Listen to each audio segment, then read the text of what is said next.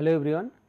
So, we will discuss today new topic on the course testing of functional and technical textiles.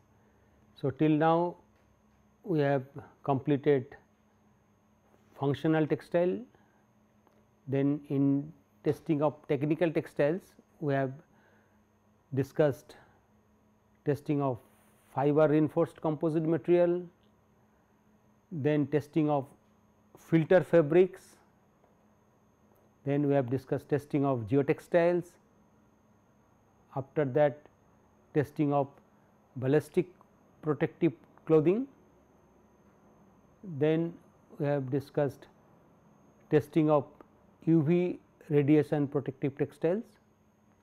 Today we will discuss one new topic which is testing of compression bandage.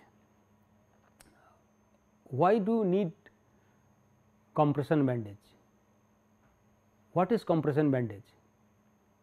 Before we understand and before we discuss the testing methods of compression bandage, we must understand the need of compression bandage. So, the need comes from the fact which is known as compression therapy. So, what is compression therapy? It is a branch of medical science that treats the ulcers and venous diseases through application of pressure. So, here compression bandage comes into picture. So, such therapy uses compression bandage which is used to exert external pressure on the body. So, the pressure is maintained and which helps in healing this type of diseases. So, amount of pressure applied is very important. Oedema is one such disease which is the accumulation of capillary fluid in the tissues. This capillary fluid should flow through veins instead they have been accumulated in the tissues which causes this type of diseases. Also the skin ulcers are also created in right side it is a varicosis affected leg and here it is a skin ulcer. So, for treatment of this type of disease compression therapy is extremely important and where we can use the compression bandage. So, to understand the mechanism of compression therapy we can use the compression bandage. So, pure blood flows from heart to the legs which is farthest point from the heart through arteries which takes the oxygenated blood. So, taking oxygen and food for the muscles, skin and other tissues and blood then flows back to the heart carrying away the waste product through the vein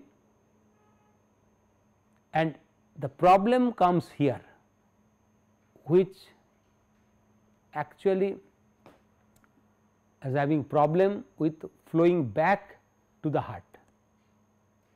The valves in the veins are unidirectional which means that they allow the venous blood to flow upward direction only.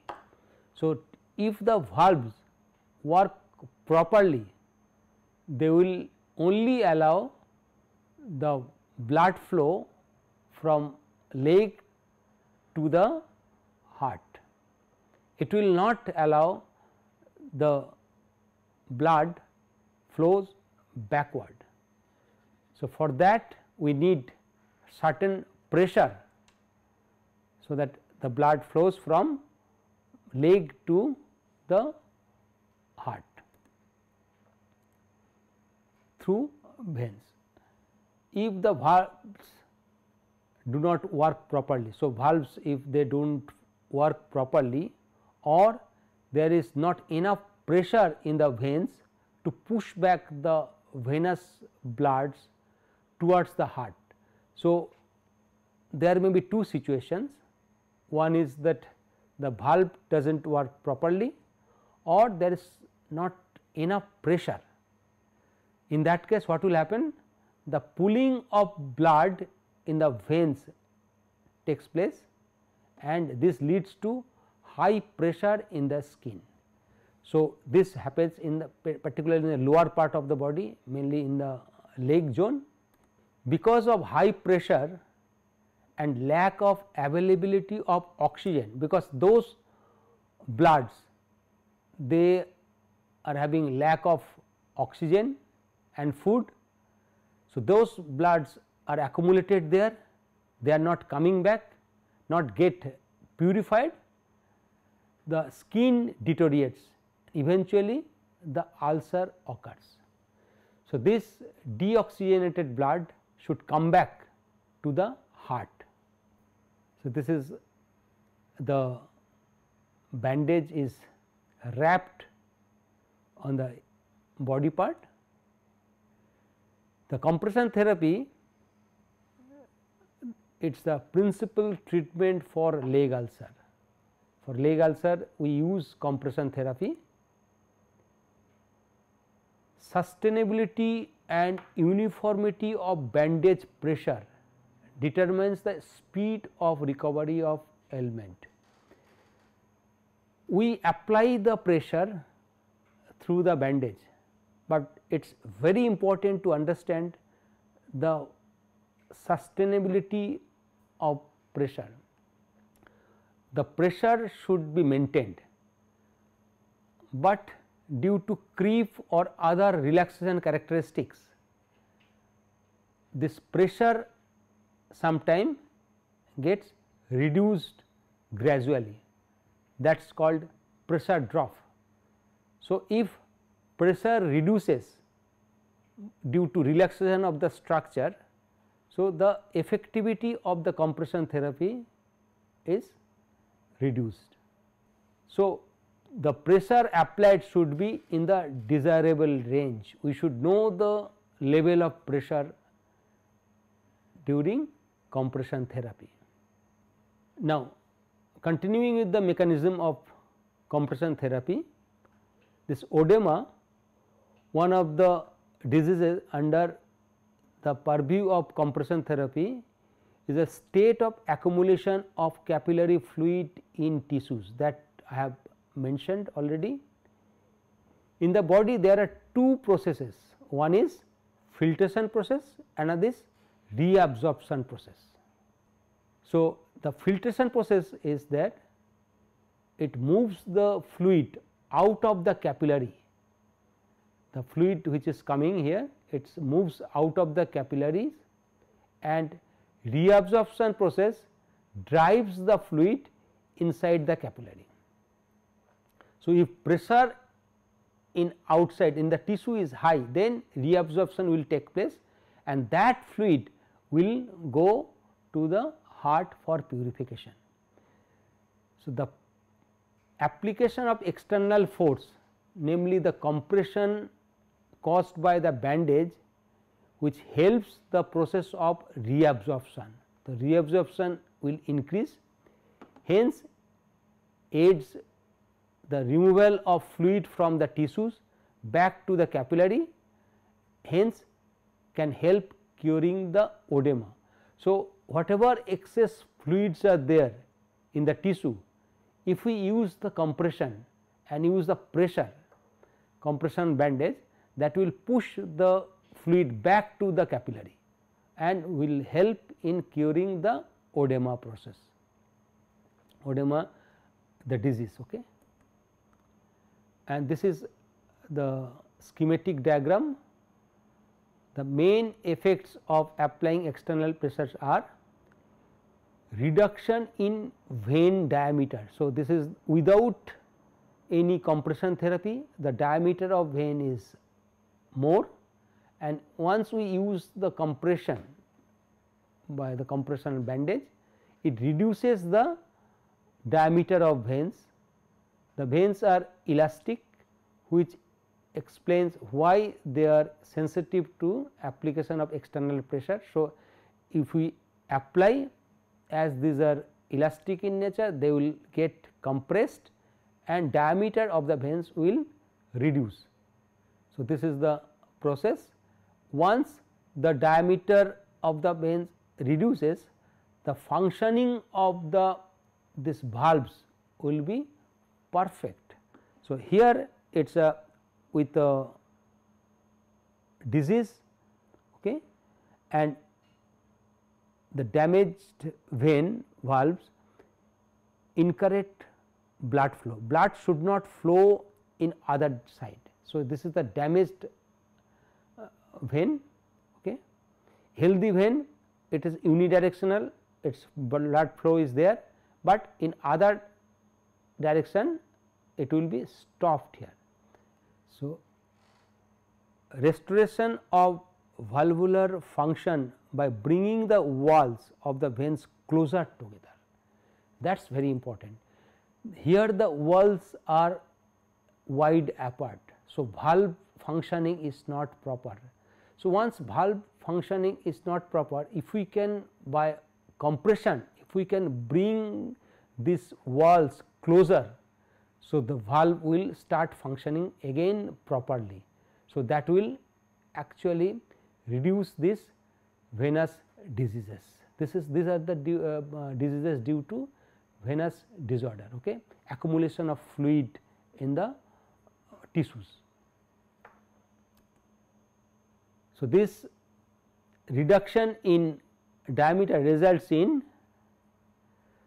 uh, reduction in venous volume and increase in venous flow rate. So, venous flow rate will increase. So, as we increase the pressure, so venous flow rate will increase, improvement of venous pump and restoration of direction of venous circulation. So, venous circulation will improve okay, and from the superficial in the deep network and back to the heart. So, from this tissues the fluid will go back to the heart properly and acceleration in the filtration rate in the capillaries, stimulation of lymphatic drainage and reduction in oedema. So, that will reduce the occurrence of oedema. Finally, the creation of condition promoting the healing process of venous ulcer. So, gradually if we can increase the blood flow, if we can reduce the venous diameter, gradually the venous ulcers will improve, okay. it will start healing.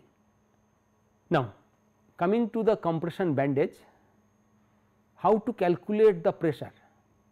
So, we normally calculate the pressure using Laplace law which says the P is the sub bandage pressure equal to T is the bandage tension in kg force, C is the circumference in centimeter, W is width in centimeter, N is number of layers. And this is the constant for unit conversion. So, this millimeter Hg is the pressure. So, using this formula we can calculate the pressure exerted by the compression bandage. If we know the tension of bandage during wrapping, if we know the circumference of the limb and number of wraps and width of bandage. So, from this equation we can see if we use higher tension then pressure will be increased, higher number of wrap pressure will increase. And it is inversely proportional to the circumference of the limb.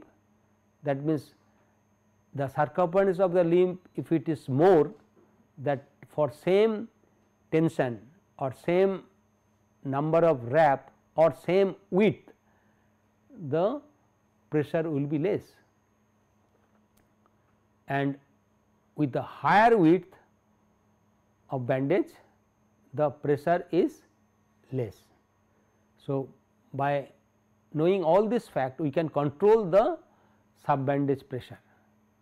So, stiffness is another parameter. So, calculation of bandage stiffness is that it is a measure of how the pressure under the bandage changes during walking. So, if a person is say lying and once he stands there will be change in pressure. So, that that change in pressure is expressed in static stiffness index. So, it is clinically assessed by using static stiffness index which is the difference between subbandage pressure when a person is standing with the subbandage pressure when a person is lying. So, that difference is known as static stiffness index. So, principles are there the different principles of measurements are there. So, Laplace law we can use the Laplace principle, but the limitations are so validity is doubtful. Okay. We can use strain gauge principle for measurement of compression pressure, but there we cannot have smooth surface like our limb our uh, body part the surface profile has to alter. Then we can use the strain gauge. Piezoelectric sensor repeatability is doubtful okay, and stabilities are questionable. And all these principles the main common problems are they use hard surface for all these principles we need hard surface, but actual application if we see that in actual application of compression bandage we do not apply compression bandage on hard surface. In all this principle they need calibration which is important and surface profile like strain gauge piezoelectric sensor they change the surface profile which is not desirable.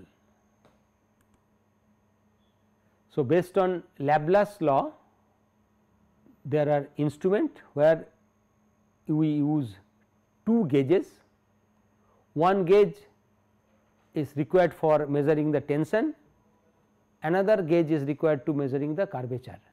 So, these two factors are required to calculate the pressure using Laplace law. So, this is the pressure required in Pascal, tension in Newton multiplied by n is the number of layers divided by radius of curvature and the bandage. So, this is the typical formula equation where the number is known from the wrapping and the bandage width is known. As we know the bandage when we are wrapping, but tension and radius or say curvature we can get from two gauges.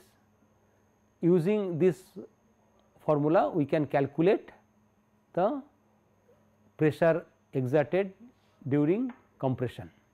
Another method based on Laplace law which is textile press device which works on Laplace law. Here again measuring matrix is equipped with two kinds of measuring tensometric sensors. One is called closed, another is called open. The closed gauges are for determining the radius of curvature of the circumference tested and open gauges are to measure the tension. So, if we measure the radius of curvature and tension then we can calculate the pressure exerted by the compression bandage using Laplace law. The main limitations of Laplace law are doubts over validity of Laplace equation. There are several studies which were performed to check the validity, but the tests the tested compression system gave pressures which is different from the expected value derived from the mathematical Laplace equation. So, the values are not matching and another problem here is that the measurements are done over hard surface. For Laplace equation, so if we use Laplace equation for such equipments we need hard surface, but in actual practice it is the our body parts are soft surface.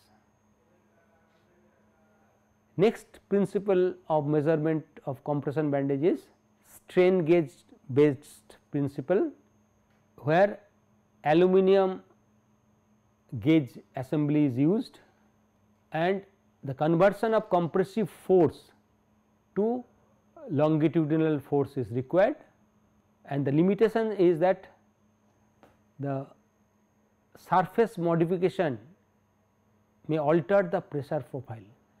So, we need surface modification because we have to place the strain gauge on the surface and that total profile of the bandage also changes which also alter pressure profile.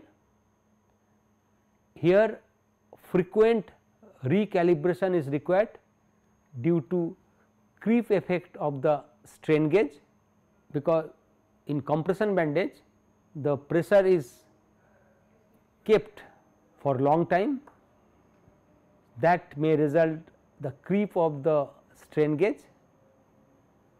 Some external factors like temperature or humidity affect the sensor characteristics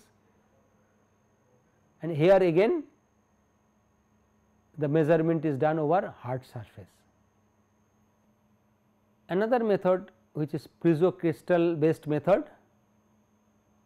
piezoelectric sensors are used and piezo crystals are made to oscillate by measuring the change in current on application of pressure, pressure can be estimated.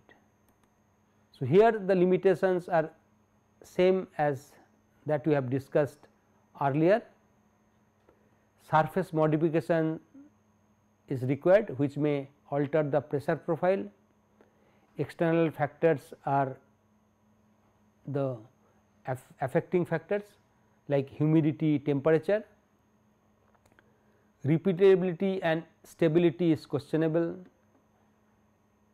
Measurements done over hard surface and here one most important limitation only instantaneous pressure was available. So, continuous pressure profiling is a problem. There are some commercially available systems one of them is the Kikuhime method. It is a simple method robust and cost effective which provides accurate and reproducible data. This is the system which we place during the wrapping and it gives the pressure value. Another commercially available system is it is a Pico press, it is a pneumatic measuring system fitted with ultra flat probe. So, here it is ultra flat probes are there which is pneumatic uh, principle which works on pneumatic principle and after wrapping we have to inflate by an electronically controlled syringe okay, integrated in the system. It will be inflated and calculations can also be carried out by the this uh, sensor during the wrapping and also under the bandage and this allows a series of sequential measurement. So, during wrapping we can measure and also under the bandage cover we can measure the pressure value. This data can be stored in the computer and also we can take in the um, by, uh, connect with the computer by USB port and take continuous value of pressure. This pico press measurement system is very close to actual system of measurement due to ultra thin probe. There are other methods like air sensor, it is a small air field device. The sensor has a sponge field used to maintain the this sponge filling it is to maintain the comfort level of the patient. Force sensor can also be used here and the parameters which has already been discussed. These parameters are winding tension, number of wraps, width of the bandage, time elapsed after bandaging. This is one important parameter because when we start recording the pressure just after bandaging the pressure is high, but as the time elapsed after bandaging it is observed that most bandages exert lesser pressure after long period due to creep effect stress relaxation effect that needs to be studied carefully. Also curvature of the limb and most important is that the physical activity taken by the patient. Once we apply bandage it does not mean the patient will be stationary. They will try to walk or move. Okay. So, calf muscle pump and the foot pump joint that is knee and ankle movement. So, these physical activities affect the pressure profiling. So, we have studied uh, detailed I will just show the result. So, to study all this one instrument has been developed. So, these are the factors as we have already discussed here. Now, the principle of the new instrument is that pressure changes in the fluid on application of external pressure. That is the basic principle. Suppose we inject some air in a bladder, the bladder is filled with some air of certain pressure. If we apply external pressure on the bladder, the pressure will increase. So, that principle is being used here to develop new instrument. The bladders are inflated with air at a particular pressure, then the bandages are wrapped over the bladder at a particular tension. Wrapping of the bandage exerts some pressure on the bladder which is additional pressure on the bladder which is duly observed by the change in pressure in the internal air by electronic pressure gauge. So, internal air pressure is changed, the level of change is being observed and that is recorded. By calculating the difference in two pressure readings, we can find out the pressure exerted by the compression bandage. Now, this is one the uh, equipment, the schematic diagram of the equipment here. As we have discussed, we will consider here two situations. One is bending of leg. So, this is the leg mannequin and motor it is attached with the motor and the bending level and the rate of stroke can be changed and this is the picture of the instrument setup. And in case 2 where the calf muscle expansion or contraction have been reported like this is these are the uh, different diameters of calf muscles and the black color these are the bladders which are inflated by using a pump. And this pumps are inflated and deflated cyclically to simulate the calf muscle expansion. And over this bladder the compression bandage is wrapped.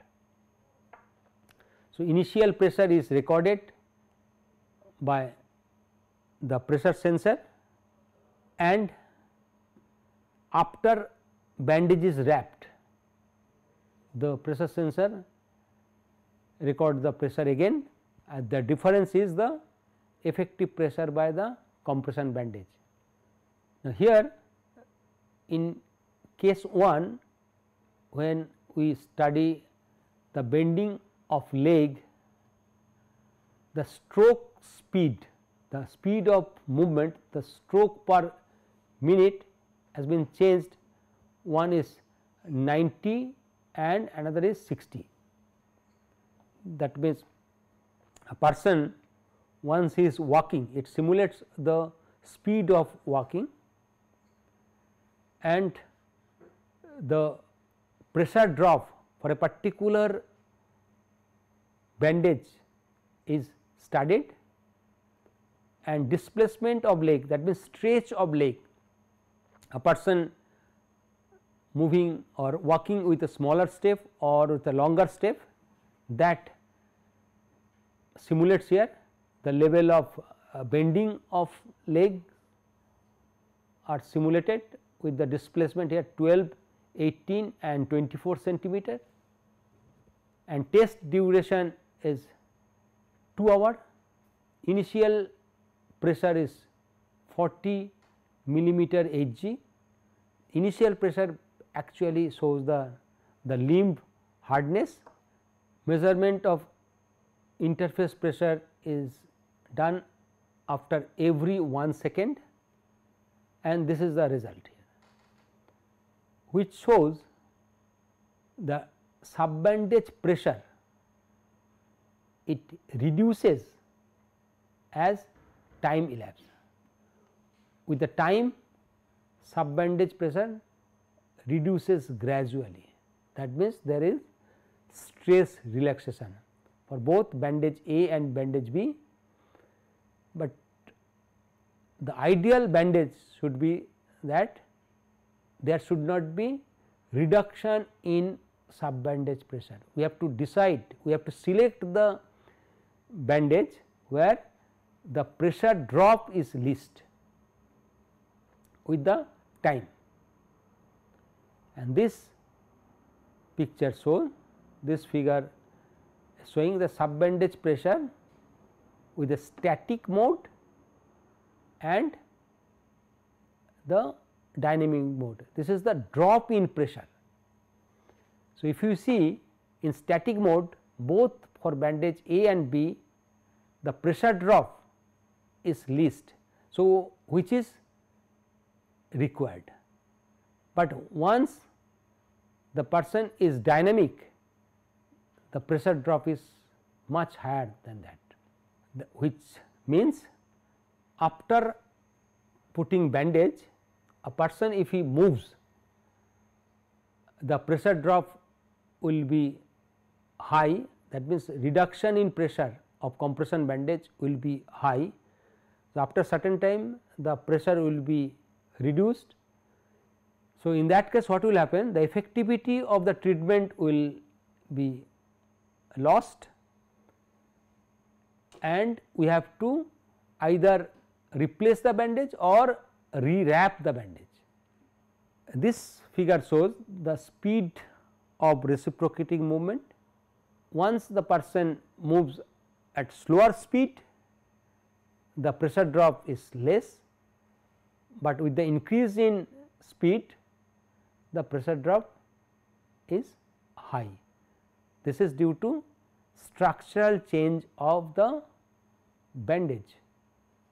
Here this picture shows that the displacement of mannequin limb as the displacement increases from 12 centimeter to 24 centimeter the pressure drop increases. That means, if the bending of the limb bend is there it is more or if the step length is more if he is walking with a longer step in that case pressure drop will be high. So, higher pressure drop means lower effectivity of the compression therapy. So, the outcome of case 1 is that pressure drop is high in case of dynamic condition as compared with the static condition. This is because of faster relaxation of stress under dynamic condition. Pressure drop increases with the increase in stroke per minute and pressure drop increases with increase in displacement of leg.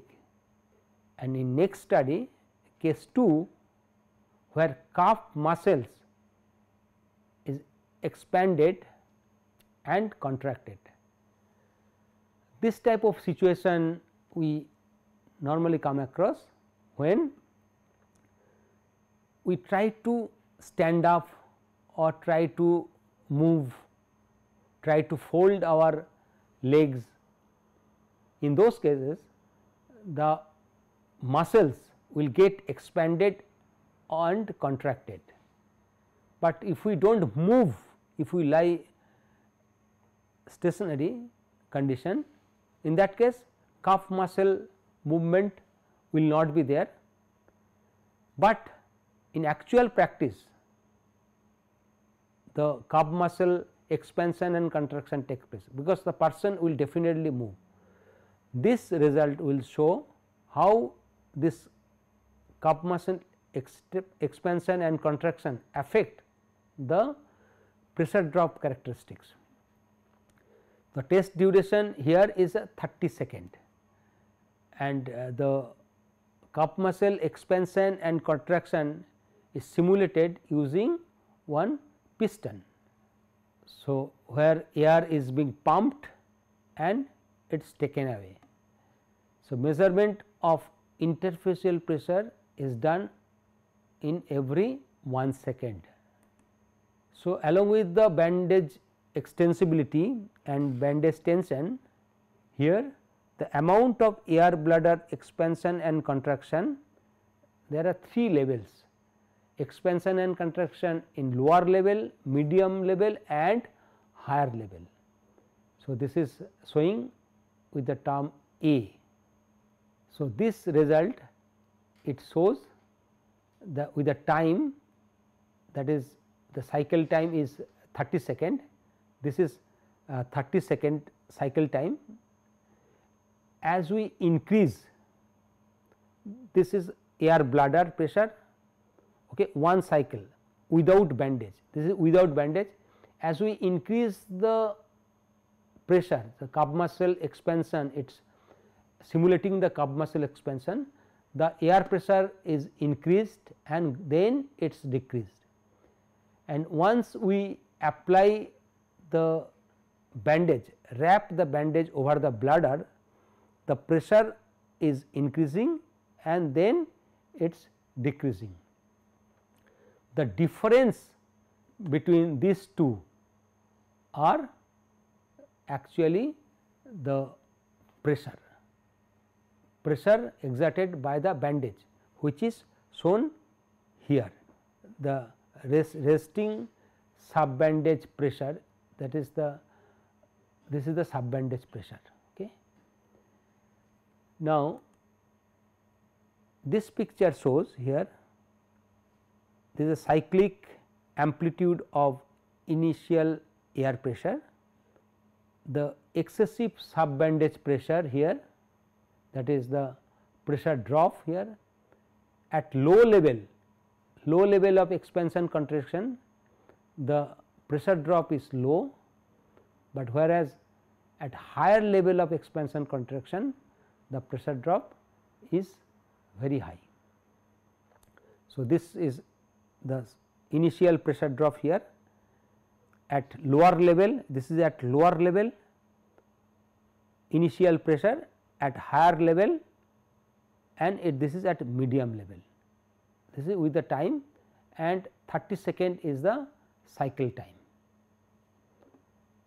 And this we have discussed here and the outcome here the result here the working pressure is higher for short stretch bandage that we have used two types of bandage short stretch bandage and uh, long stretch bandage short, short stretch bandage is low extensible bandage and long stretch bandage is highly extensible bandage.